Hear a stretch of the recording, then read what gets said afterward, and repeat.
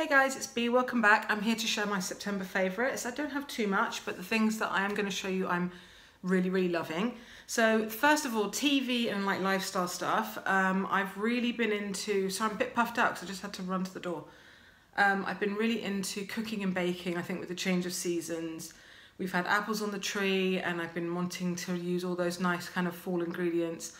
Lots of butternut squash and pumpkiny things already. Um, Really enjoyed Celebrity MasterChef this year. I thought the standard was amazing and still really into British Bake Off and I think this afternoon I'll bake. I tend to bake something on Tuesday because Bake Off's on and then it means that we can have a cup of tea and something sweet while we're watching it as dessert. It's just fun to do it that way. Um, also really been enjoying this book that I got from Amazon a couple of weeks ago. It's Reese Witherspoon's book, Whiskey in a Teacup, and it says it's what growing up in the South taught me about life, love and baking biscuits. So it's kind of, there's a few recipes, but there's her tips on how to celebrate different events. There's just really lovely pictures. It's just a really nice book. I think I know a lot of people that would enjoy this as like a Christmas gift. Uh, there are menus for different kinds of events. There are recipes for sort of cocktails and party food and I'm just trying to find a really nice picture. It's just really, like the interiors pictures are really beautiful. So I've really been enjoying that. I really recommend it. Um, Discovery of Witches, I think if you know me quite well, you know by now that I loved that trilogy of books. Absolute schmaltz. Not necessarily the most amazing writing, but just very engaging story. Kind of like Twilight for grown-ups. Well, Sky One have just launched a drama um, and it's, it's I really enjoy it. It's absolute tosh but I really love it. It's about a witch and a vampire who fall in love, and that has a lot of um, effect on the world in general, on the magical world or whatever. And it's just a bit of fun. It's got loads of good actors in it, and I really recommend that if you have Sky.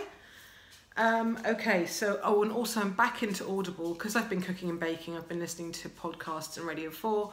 But what I really love about Audible is if you have a little bit of a lull in your reading, it really gets me back into reading and what I really love to do is have the audible book and the physical book. I'm not really a Kindle person and flip between the two because obviously you can listen to an audiobook while you're driving, walking, cooking, doing other things whereas with reading you really have to sit down and concentrate on it and I don't have that much time to do that. So really been enjoying Audible. At the minute I'm listening to Fear by uh, Bob Woodward who is one of the Watergate scandal journalists who blew that open, and he's written a thing in, about the White House, and that's very infuriating and interesting.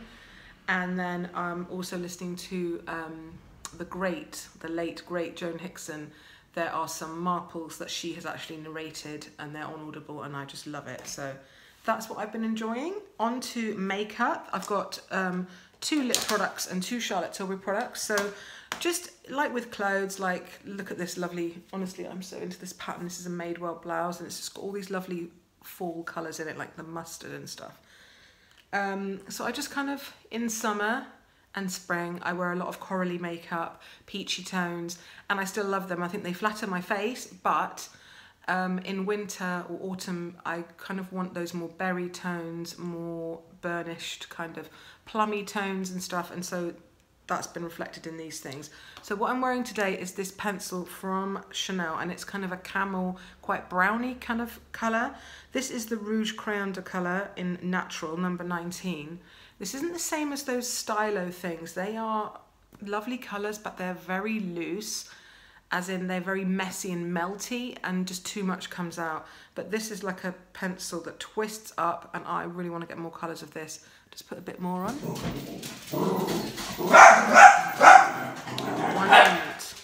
Anyway, as I was saying, um, yeah, so I'm really loving that kind of colour. Where has it gone? Oh, there it is. It just rolled on the table. So I really like this. It's really small and handy to take out and it's really easy to put on because it's quite small at the end so you can be quite controlled. Lasts ages, but it's like moisturising. So I really recommend these. Excuse me, I have a cough. then I did buy two of these. I did fall for the hype. This is the Generation G where you buy the lipstick and this. The other one I bought, which is like the natural kind of tinted balm, I, it's okay, but it's nothing exciting. It's no better or worse than the Dior tinted, the ones that like react to your lips. But this is worth the money because it's a nice, unique colour. I'm trying to find out, because obviously you buy the case, and you buy the lipstick on its own, and I can't see where it says the number of the colour. Oh, here you are. 06. So they don't have a, it doesn't have a name, it's just number six. So it is like a pinky color, but it's got enough of a kind of slightly plummy vibe that makes it feel very autumnal. I will swatch it there for you. It looks brighter on camera. It's not, it's a muted rose and that's it with next to the Chanel one. So I've been wearing those two and I've even mixed them. I actually did round the edge of my mouth with this the other day and then blotted some of the pink in the center and that did look nice. And then two new things from Charlotte Tilbury. I'm not sharing with you as a favorite the um, eye quad in the new Pillow Talk range. But I do like it, but I have to try and keep the favorites as the true favorites. And this I love even more. This is the Cheek to Cheek blush in Pillow Talk. I thought because the lipstick is quite a new nudie pink, but it's pink, that the eye palette and this would be really pink as well. And I thought they wouldn't suit me on my eyes and cheeks, but they're not. They are like a beautiful autumnal rose gold. And I just have probably used this nearly every day since I got it. That's the blush if you mix both colours together. So it is very rose gold, but what you can do is, is this whole swish pop thing where you use the one colour and then just dot the brighter colour on the centre of the cheek. Honestly, you can use this as an eyeshadow. So if you are thinking, I can't really afford to get the eyeshadows and this, this is the standout product. So I would get this and you can use this on your eyes as well anyway and get quite a similar effect to the, um, to the eyeshadow quad. And then the other thing I'm really enjoying is her new Magic Away Liquid Concealer. I have got two, so not the lightest one.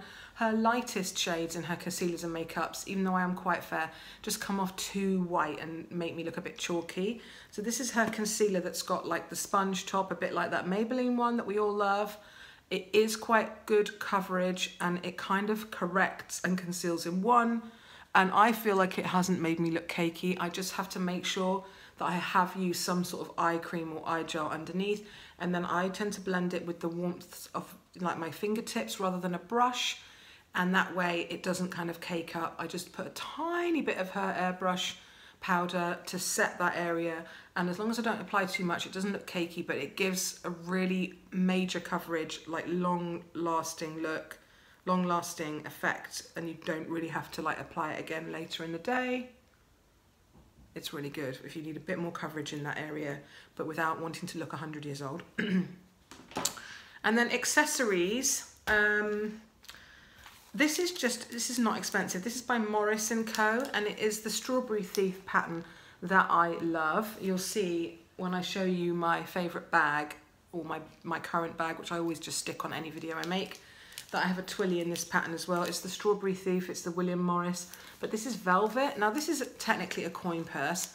but I use it as a small um, makeup pouch, essentials pouch. I feel like the mini pochette even and some of my other makeup bags are too big unless I'm using like a tote and I do favour the smaller bags quite a lot of the time. So I feel like, although this is a coin purse, I've been using it as a, a little essentials and in the velvet, the pattern just looks so vintagey and just I'm all about these patterns at the moment.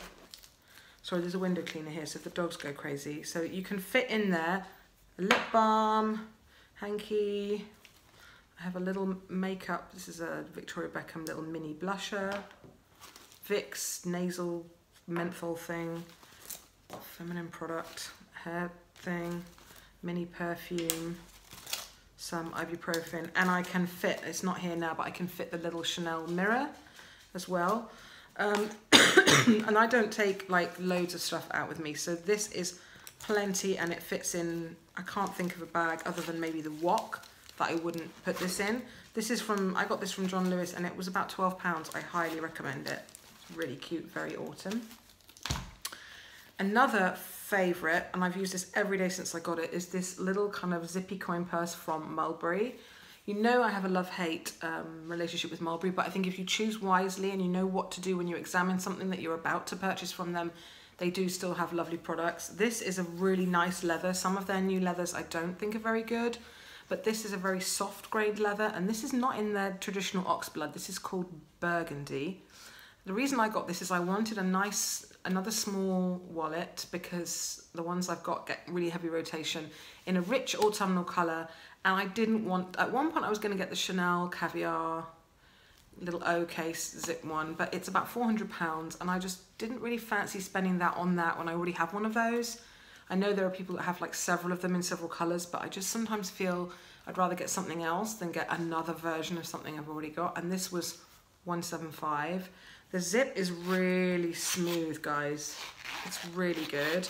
I did try two or three in the store and this was the best one. Another one kind of caught on the corner. So you, again, you just have to see. It's got loads of room and it's lined in really buttery soft, kind of more lambskin in a navy blue. And I just like the contrast. So I have got uh, three or four cards. There's three card slots. So I've got six cards. There's little slots down the back. There is a little coin thing, but it's just an open slip. It's not a zip thing.